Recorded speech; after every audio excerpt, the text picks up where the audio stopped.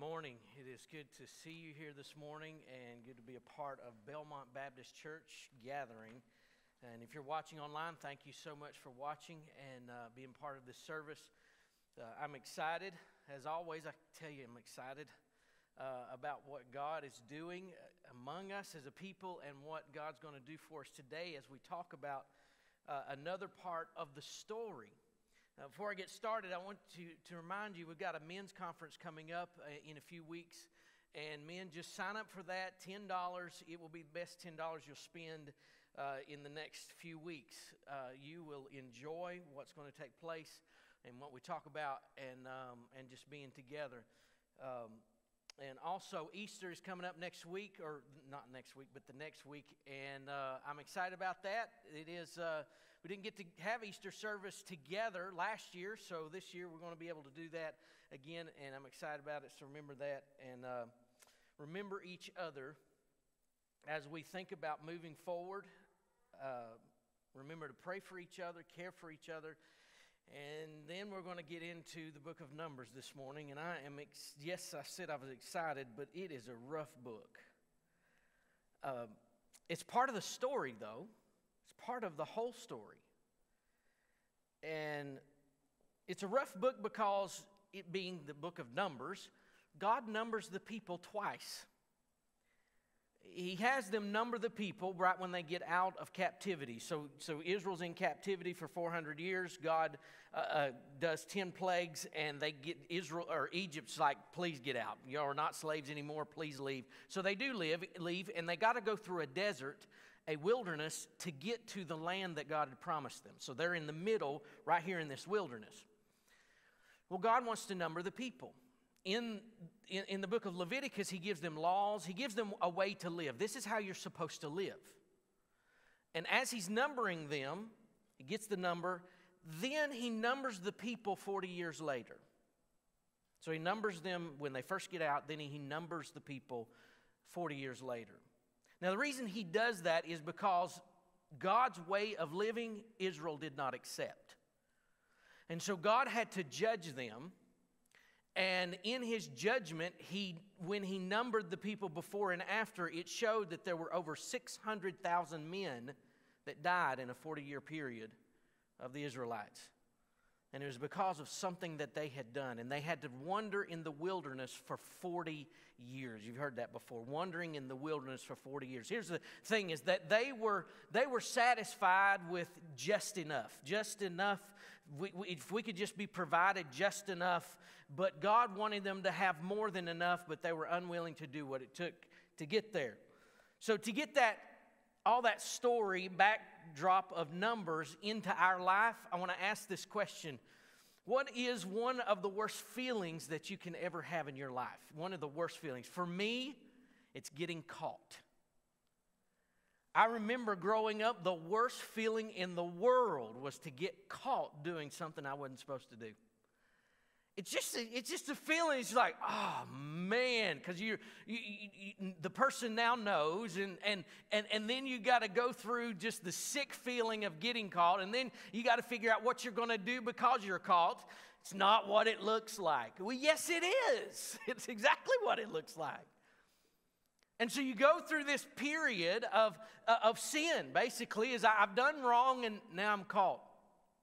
Here's the problem now, listen very carefully. Here's the problem is, you know, when, when my parents would catch me uh, in a lie or they would catch me doing things that I wasn't supposed to do, it would make me feel that way. But we have to realize this that God always catches us because he already knows what's happening in our life. It was like Adam and Eve sinned in the garden, and God shows up and is like, Adam, what's up, man? Eh, eh, eh, all through our lives, we have to realize that it's not that we're trying to keep from getting caught. When we are in the presence of God, which we always are, we're always caught. And here's the thing is we have to live with being caught. We have to live with the shame and the guilt. And what comes to place, what, what happens when we have shame is that we feel bad about ourselves. Like I'm not worthy, I'm less. So here's what we do this is a coping mechanism for shame. This is what Adam and Eve did. It's what the Israelites did. A coping mechanism for shame is to blame others. That is a coping mechanism. It's not my fault. I mean, somebody else's fault. They made me do it. We're always blaming. And then it comes down to this always a coping mechanism for shame is to blame the rules. Well, those rules are stupid anyway. I mean, they, we, you shouldn't, I mean, we can do that. I mean, that's just dumb that we can't do that. And so we have found, we even try to find arguments for why God is wrong in his rules because we got caught disobeying his rules. And so the guilt and shame comes in our lives. I, I, know that you felt that because you are a human. You are a sinner. You have sinned in your life. And it's only by the blood of Jesus Christ that you are a Christ follower. It's not because you've been good. Every one of us have been called, and we may, some of you may be in that state right now where you're like, you know what, I, I'm feeling very bad because of something I'm doing, and I'm trying to trying to work it out. Or it may be that you've been in a position where you thought, you know what, I've been caught even by a person or by God, and, and I'm feeling the shame of it. I'm feeling like that, that I, I don't know if God loves me anymore. I've been too bad. I've not been good enough for God to move in me. And so we come to the book of Numbers, and that's exactly what is happening over and over and over again. Well, the people really don't realize it, but we, I think, Numbers can help us realize what it's like to live in the desert. Let me, let me read this and, and, and give a few, a few notes backdrop in, in Numbers 14. Let me back up just a little bit. And this, this is tough to swallow. This really is because God is, is who He is, and, and He's not going to change. So the Israelites came out. They complained when they got to the Red Sea. They were running, and they got to the Red Sea. The Egyptians said, Leave. And so they did, but, the, but Pharaoh was like, you know what? I'm going to go. I'm going to go back and kill them. I'm going to go back and get them. So he just had this harebrained idea that he's going to go get the Israelites again. Well, they were at the Red Sea in the front and the Egyptians in the back, and they were complaining about, well, we're just here to die. And so what God did is Mo- had Moses to, uh, to put his staff into the Red Sea, and then the water split. They crossed the Red Sea. The waters came back in as the Egyptians were come through and drowned them. Came through and drowned them. Next thing that happens is, is that they get into a mountain, and Moses is up on the mountain, and the people start complaining again and saying, Well, Moses has left us. You know, he's just, he's nowhere to be found. And so, so they make a golden calf to worship the golden calf and dance around it and, and, and go back to their Egyptian roots of where they were in Egypt and, and dance around the calf. And it was part, even part of the things that they had seen of other countries and other places, nations. And Moses comes down, he's mad. And he's like, What have y'all done? Well, God even said, Well, I'll just make another people for you. And Moses is like, No, please don't. So then we come again, and it's in Numbers chapter 11, they begin to complain. After God spares them, He gives them a tabernacle. He gives them all of the things that they're going to need to be able to live the life that God wanted them to live, to get into the land of more than enough. Here's the thing is God wants you to live in a land that is more than enough, a land that is wonderful, a land that is, and I'm talking about in your heart, spiritually. He wants you to live in His presence. It's much better than anything else. But many times we are satisfied with living in our own selfishness a land of just enough, where we just, we, we, are in our own things that we want. So this is where the people were living in Numbers chapter 11. He says this, and the people complained in the hearing of the, of the Lord about their misfortunes. And, and basically, that was in, in chapter 11, they were complaining because they didn't have a lot to eat. Then you get down to chapter number, uh, chapter number 12, and Moses and Aaron, who are, who are Moses' brother and sister, uh, Miriam and Aaron, they turn against Moses. And then people go with them. And then there are spies that are sent out into the land, spies that are sent out into the promised land. And these 12 spies go into the land into Canaan and they come back with a report. Two of them said, Hey, yeah, we want to go in. We really want to go in. Let's go. I mean, we're ready to go because God, you promised us. God, you promised us that we can go in. So let us go in. And they're all excited. Well, 10 of, the, 10 of those spies came back and said, No, no, they're too big. They're, they're too bad. We can't, basically, we can't live in the land God promised for us. Basically, this we can't live the way God wants us to live. It's impossible. I can't do what God has called me to do. It's impossible. I can't do it. So they said, No, we're not going in. And so all of the people voted not to go into the promised land. Well, God did not call for a vote, yet they voted. And God voted, and He said, Everyone who said no, all the no votes of going in the promised land, will not get to go in at all. And he says, Y'all are going to wander in this wilderness for 40 years, 40 years, wandering around for 40 years until all of you who are over 20 years old die. Except for the two spies that went in, Caleb and Joshua. They were over 20 at the time. Now, can you imagine this? I want you to, to understand this.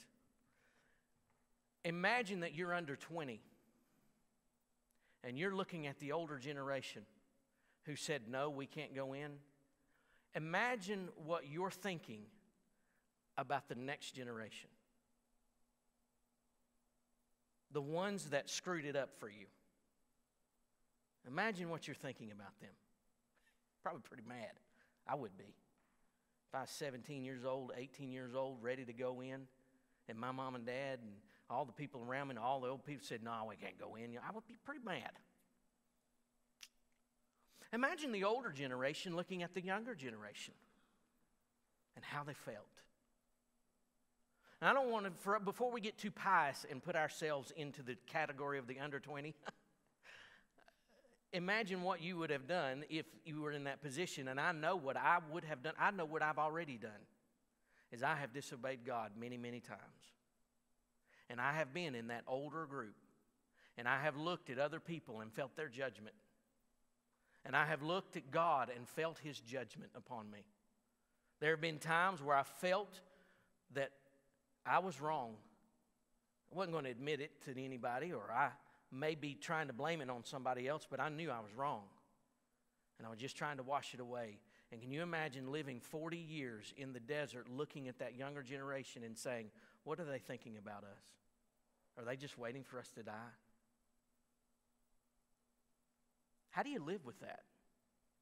Here's what I want to get to, and I don't want to spend a whole lot of time with it. I just want you to ponder on this and think through this. How do you live with shame and guilt? How do you live in the desert with God? Because we can say all we want to. We can say, well, there's a dividing line, and I think this is right, and I think this is wrong. Well, if you look in the Bible, there are certain things that you shouldn't do, and there are certain things that you should do. And there are things that you are doing and not doing that, that at times that you are just against God. That's our human nature, and we've got to get it right. Yes, we've got to get it right. But when we get it right, let me give you an illustration. My, when, when, I was, uh, when I was a teenager, I did a couple of things, and my father was very disappointed in me, and I was disappointed in myself. I shouldn't have done it. And so as I got caught, talked to dad, he gave me, he talked to me for about five minutes, told me consequences. I didn't like that. But I knew, I knew they were right. But here's what, what was happening, and this is, I think, where we are in the desert, and this is where we have to, we have to settle with this. Is that there were about four or five days that I just didn't talk to dad because I, I thought he was too ashamed of me.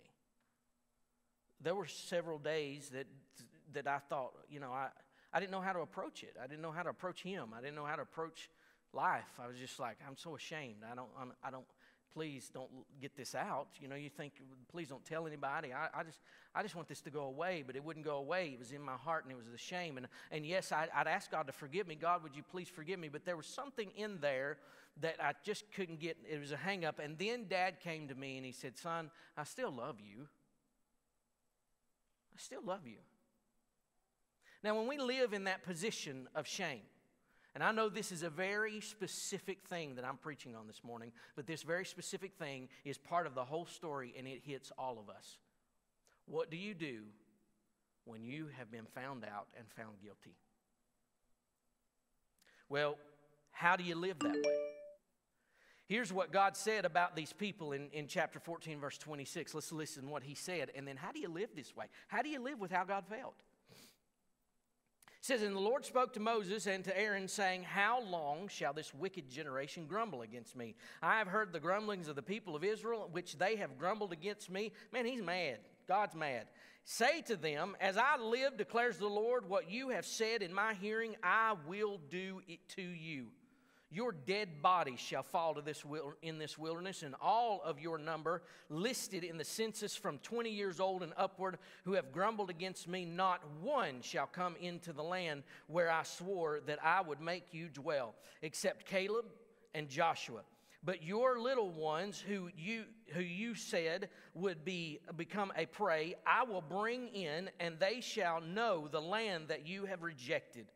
But as for you, your dead bodies shall fall in the wilderness, in this wilderness. Your children shall be shepherds in the wilderness 40 years, and they and shall suffer for your faithlessness until the last of your dead bodies lie in the wilderness, according to the number of the days in which you spied out the land, 40 days, a year for each day. You shall bear your iniquity 40 years, and you shall know my displeasure. I, the Lord, have spoken. Surely this will I do to all this wicked uh, congregation who are gathered together against me in this wilderness, they shall come to a full end, and there they shall die.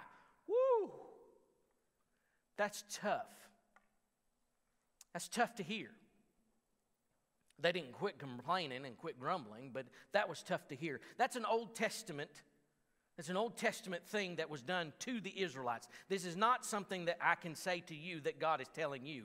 No, no, I, I, but we can glean some things from this to understand that God does get angry. He does have, have wrath. He does, he, he does have things in his that, that are standards. And he says, There's a way I want you to live. And if you don't live that way, you will become guilty. You will become shame, uh, have a shameful heart. You, you, you will have consequences. There are always consequences. And so, how do you live with the consequences? Now, we'll talk about the forgiveness of God and the New Testament model that God set up f- through Jesus Christ. But let's first of all get through this model that we understand that when you sin, when you sin, these are the things that are going to take place. These are the things that are consistent, that you can count on. Number one is if you sin, and you live in shame and you uh, whatever's happening in your life at this moment and you, you're, you're living in shame guilt or you're trying to blame others. This is what the israelites tried to do anyway.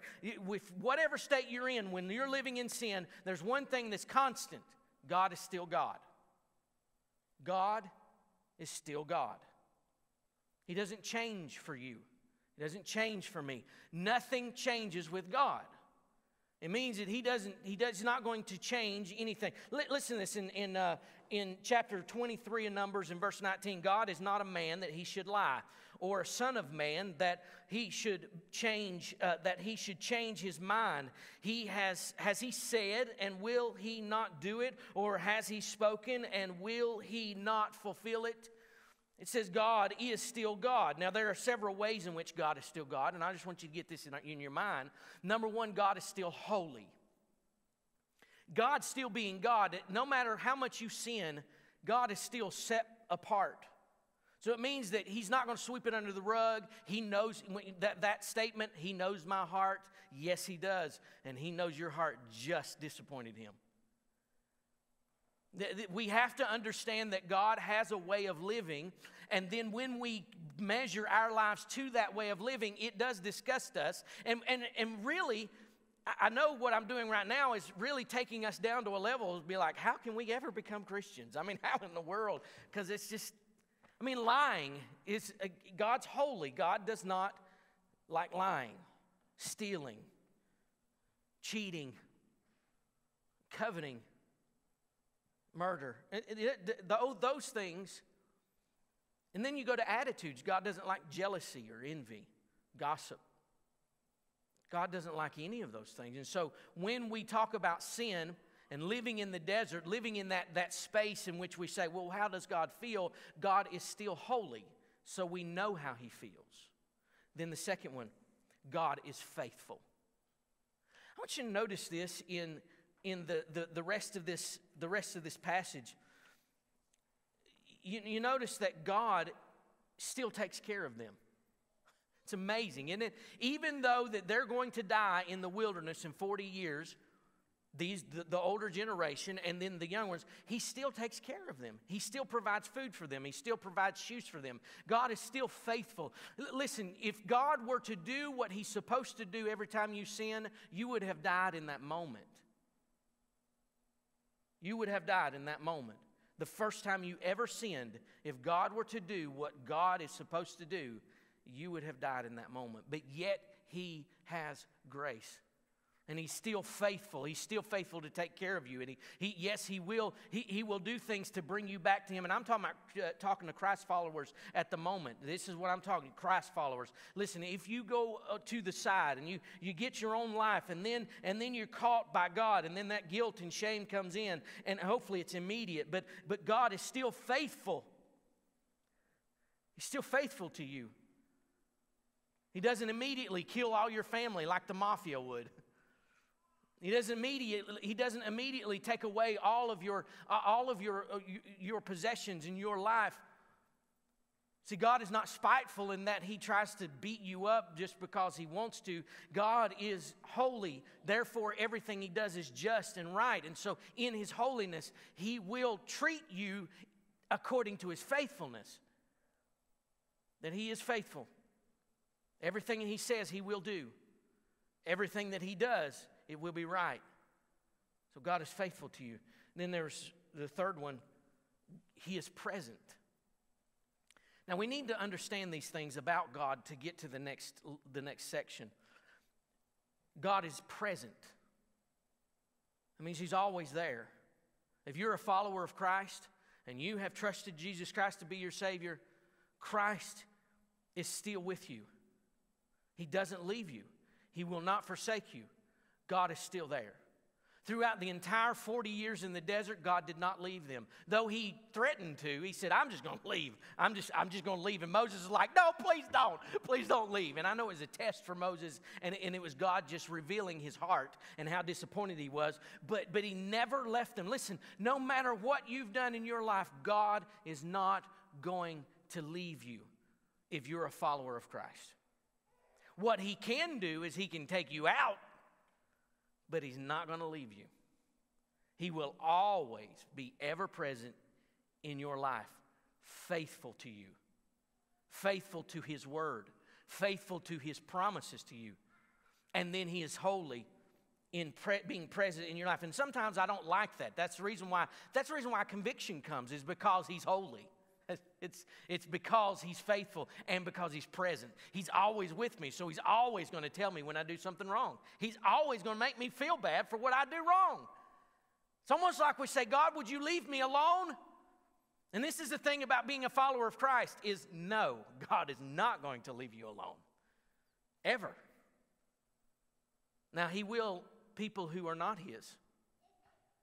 People who are not his, he will leave them alone if they reject him.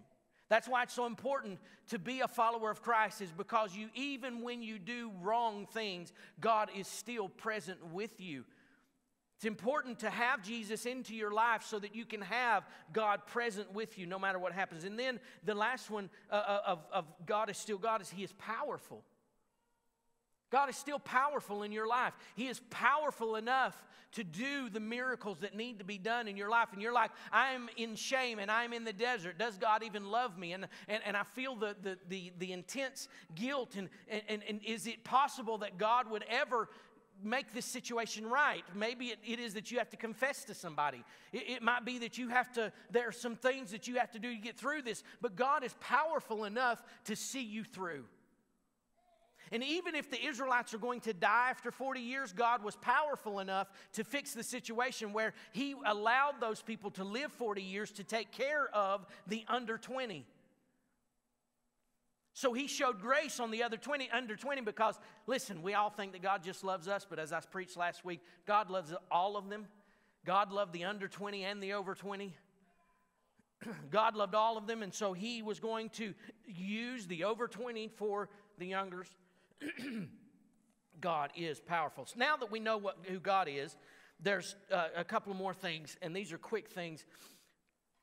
because I, I, want I want this to sink in. I think our, the application and your reaction is more important than even the substance, uh, the deep substance, because there's so much to this. But because God is powerful, He is holy, He is present, uh, uh, because He is, God is still God. Here's number two cleansing is still available. Cleansing is still available. You see, those people, and even Moses reminded God of this God, uh, Moses reminded God, God, you said you would forgive. You said it, and God did forgive. He said, I will pardon. They still can't go in, but I will pardon. And this is the understanding of what, where Jesus comes in is that Jesus can cleanse us and Jesus can take care and, and heal us because of his blood on the cross. And if you would ask forgiveness of your sins, God will forgive you. Yes, there are always consequences to a lot of things that we do, but we can handle those things because we are forgiven. And even there are some consequences that we even escape because of the forgiveness of God. Love will cover a multitude of sins, including the love of God for us. Cleansing and covering a multitude of sins, meaning, meaning this is that Jesus Christ can forgive you of your sins and can cleanse you. And cleansing is still available for these people. They can still be the people of God. You see, God's not going, you cannot lose your salvation. You're not going to lose it. If you've sinned and you've done horrible things against God, He's not giving up on you. And you can still be cleansed. Listen to these, these verses. If we confess our sins, He is faithful and just to forgive us of our sins and to cleanse us from all unrighteousness. If we have not sinned, we have made Him a liar and His word is not in us. It be, means this is if you say, Oh, I didn't sin you have made God a liar and the word is not in you. It means this if you will admit that you have sinned and you will admit that you have done wrong, you can go to God and say, God, I admit that this was sin and I admit that this was wrong and I want to get this right. And God will forgive you. And He's powerful enough to get you through it, even if it is a conflict in a relationship, even if it is something that you have made a mess with other people. He will forgive you. In Ephesians 1 7, it says, In him we have redemption through his blood, the forgiveness of sins, according to the riches of his grace. In Hebrews 8 12, For I will be merciful to their unrighteousness and their sins and their lawless deeds. I will remember no more. And then Psalm 103 12, As far as the east is from the west, so far has he removed our transgressions from us. Cleansing is always available to you. If you will bow before him, cleansing is available to you if you just just bow. And so as they're living in the desert, they don't have to live in the desert in the guilt of those 40 years. Do you notice in this for 40 years the, the, the topic that God does for the rest of the Bible, the topic is not how wicked the people were. Read, the, read it. I want you to read the, the instances in which God says, looks back at, the, at, the, uh, at Him taking care of the Israelites. It is not that He's talking about their sin, they rebelled, they're terrible people. No, it's I took care of them. I took care of them. He doesn't, he doesn't keep bringing it up and keep hammering the sin. He keeps hammering the fact that I got you through it. I got you through it. When you sin, cleansing is available and you don't have to live in the guilt and the shame of your sin. You can move forward into what is next. And those, those people that were over 20, now if they were forgiven, yes, they could not get, go into the promised land. But what they could do, they didn't do this, but what they could have done is said, you know what, we're responsible for our children, we're going to help them get in. We're going to help them.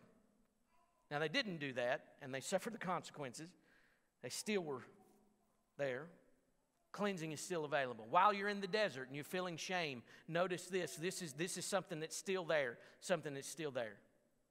Not only is cleansing available and God is still God, but also obedience is still required. God never changed anything in the book of Numbers. Obedience is still required.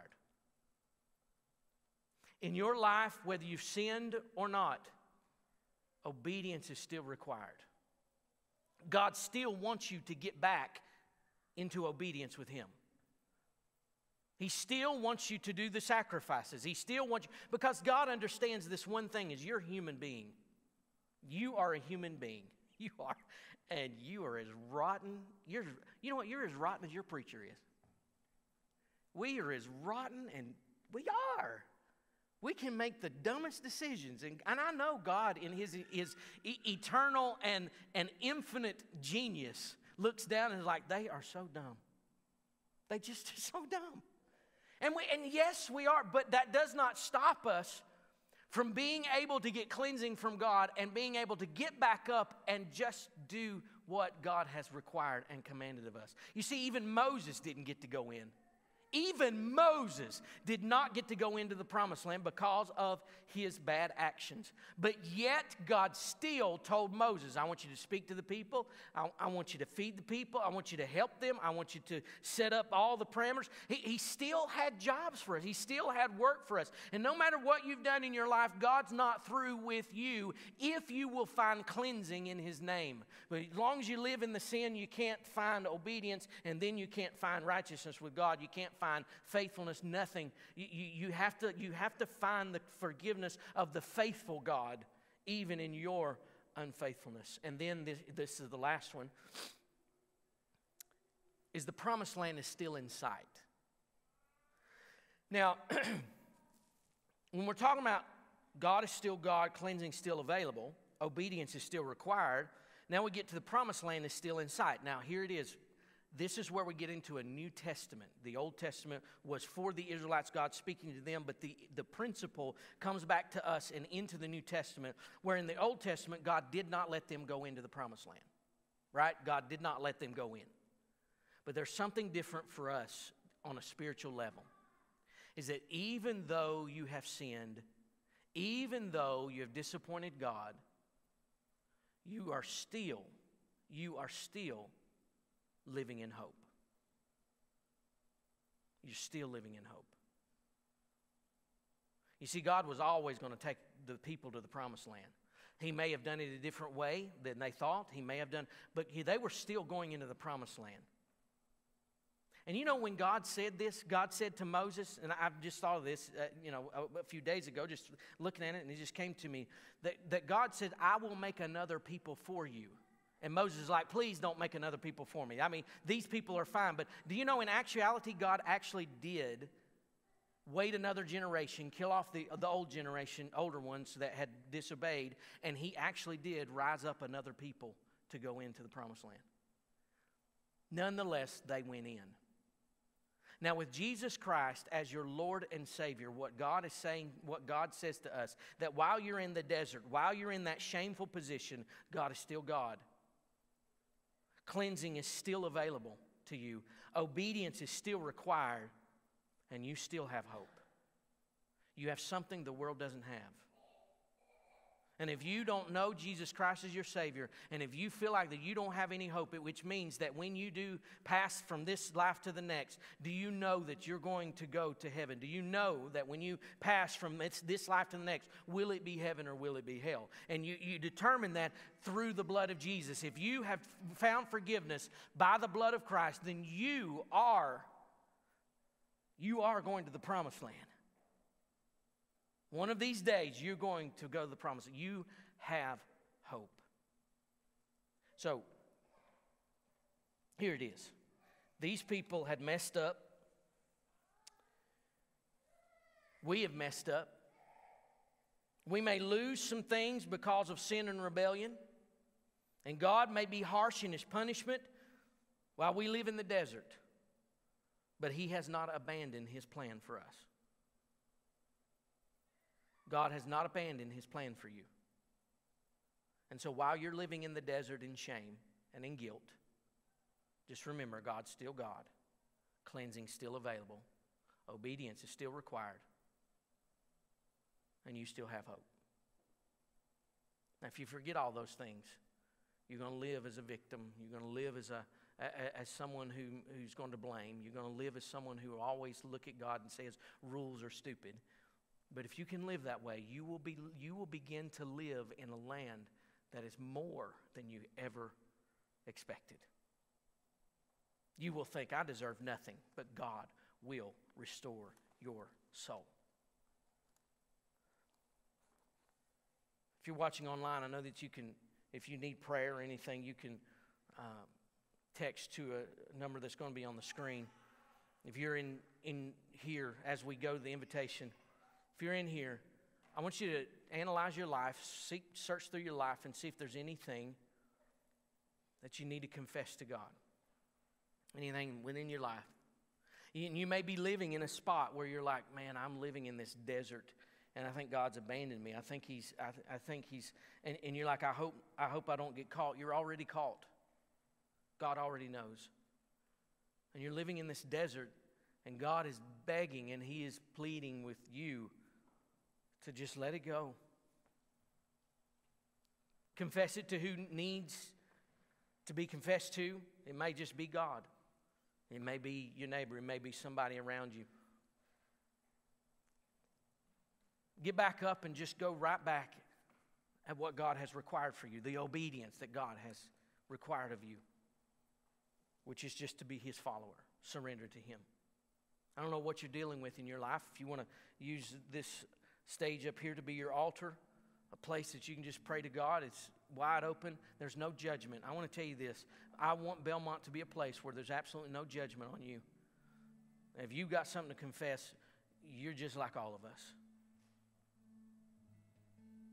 So if you need to pray somewhere, you, whatever you need to do, it's going to be good for your soul.